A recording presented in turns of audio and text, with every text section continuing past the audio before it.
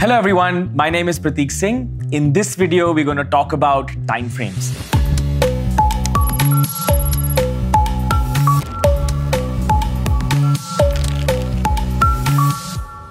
Now, as a technical analyst, you will choose different timeframes to analyze your charts, and we're going to briefly discuss that.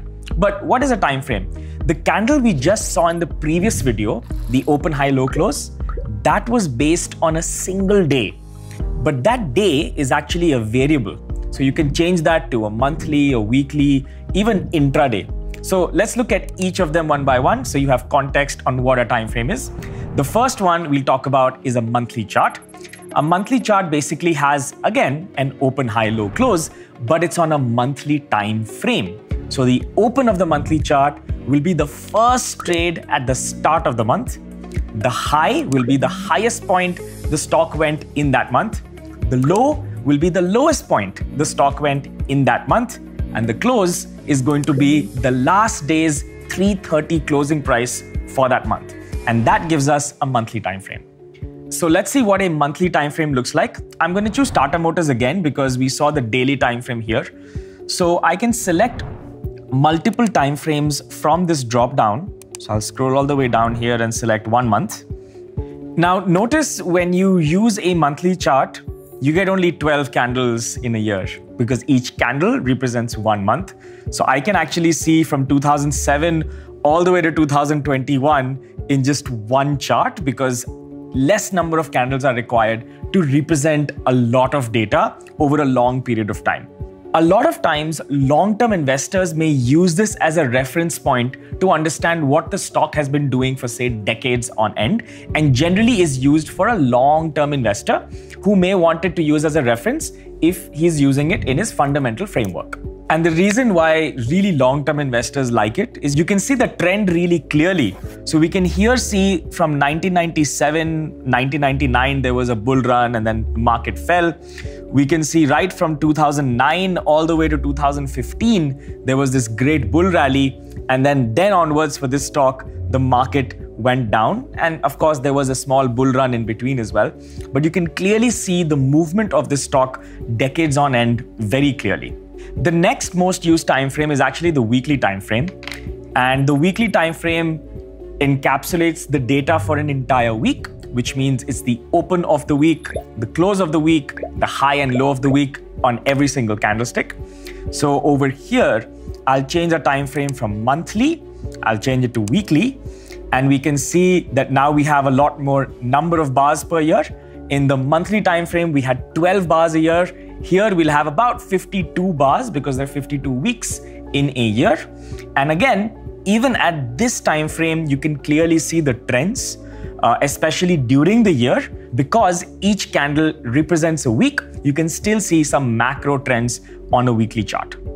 The weekly time frame is most used by long-term investors, but at this point, you might also get more active investors, almost traders using the weekly chart who have a horizon to hold a stock for one month to maybe up to four, five, six months. And the weekly time frame is a good time frame for that outlook. The next time frame below the weekly time frame is the daily time frame. And as you saw in the previous video, the daily time frame is just the open high low close for a single day. You've already seen this before, but I'll show it to you one more time. I can change this weekly to a daily. And now, of course, the candle from weekly has gone to daily. So you're encapsulating a day's data. You also get a lot more candles. It's about 252 candles. And I'll just zoom out to show you what this data looks like on a daily chart. So generally, um, person looking at a daily time frame will not zoom out as much as I have because you can barely see any candle over here, right? And if you remember when we saw the monthly and weekly, this time frame from 2009 to 2021 was super clear to understand. But now because the time frame is lowered to daily, you can't really see the individual candles. But if I zoom in, for example, and in this frame, I can see about one and a half years or so, I can make out each single candle. So your outlook in a daily time frame becomes slightly shorter. Your perspective becomes slightly shorter. This time frame is mostly used by traders who have a horizon of a few days or maybe up to a few weeks. And finally, we have intraday, which is the smallest time frame that we'll be discussing in this video. This actually has a bunch of time frames. The intraday time frame is divided into few more options. So you have the 30 minute time frame, the 15 and the 5. Now, intraday traders may use other time frames as well, but these three are the most used time frames. As you might have guessed, the 30 minute candle is the open high low close of the last 30 minutes. The 15 minutes is the open high low close of the last 15 minutes, so on and so forth until the 5 minute candle. So this means that as you go lower the time frame, more information and the number of candles actually increases by a lot. And I can see over here by changing the time frame from daily to say 30 minutes, I can now see the intraday movement of this stock for yesterday and the day before. Also notice the open and closing times of the candlesticks. So as we know, the market opens at 9.15. You can see that the open is 9.15 because that's when the market opens. And the candle actually closed at 9.45, which is also the open for the next candle. And you can see that all the candles have a 30 minute interval basically means you've divided the day into 30 minute time frames and created candles for each one of them. Now I can actually go into a lower time frame and go to say 15 minutes and you'll see the number of bars has increased.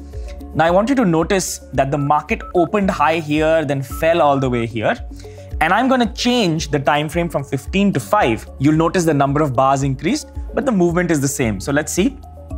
Remember the market opened here and then closed here. I'm going to change the time frame to 5. There you have it. You see, now you have more granular data for that particular day because you've gone into a lower time frame. Now, one last note for you. You can see that you can also check 1 minute, 2 minute, 3 minute, 4 minute, uh, even 10 minutes uh, time frame. So you can explore different time frames using the charting platform that you use. Uh, we just discussed the three most used ones. So another perspective I wanted you to develop is looking at multi time frames to decide a point of view. Now, we can't really do technical analysis because we've not learned it yet, but let's try something.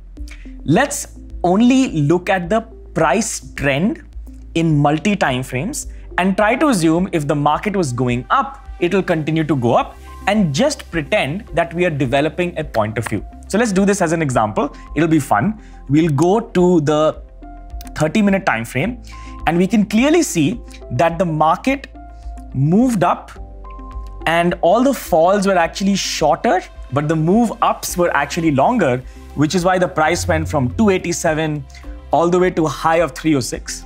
I think we can agree on the 30 minute time frame, the market is actually trending up, correct? Now let's go one time frame up and see whether the market is still up or not. So I'll go from 30 minutes to say one day that changed a lot, didn't it? So now we can see that over the last few days, actually almost a month, this stock has been falling. So would you say that the market, which started at what, 358, slightly higher, and it went to a low of 284, is actually moving up? In this case, it's very clear the market just did this wave and it's actually falling. So the point of view from a daily time frame is that this stock is in a downtrend. Yet, let's go one step ahead and I'm going to open the weekly chart. Didn't that change everything? Now, instead of seeing a month, I'm actually looking from October till August start. And I can see that this stock is in a massive uptrend. It actually started at 129, it went at a high of 355 and is trading at 298. It's almost 300 rupees. Clearly, the trend over here is up. And finally, I'll just check the monthly chart, which will be very similar to weekly, I'm guessing. Oh, isn't that interesting? um, we can see that since 2017, on the monthly chart, Tata Motors has been in a massive downtrend. It's only here around 2020 September when we started moving up. So the trend, I think, is not very clear or very obvious on the monthly time frame. So I hope that made sense looking at multi time frames and developing a point of view. There's no correct or wrong point of view. You just have to decide what time frame works for you and develop a point of view based on that. It's important to note that no two intraday charts will be exactly the same. So when you use different platforms, you might get slightly different ticks on data, but that doesn't matter because they'll convey the same information. The next thing we're going to talk about are the key assumptions every technical analyst makes. That we're going to discuss in the next video. The key takeaways from this video are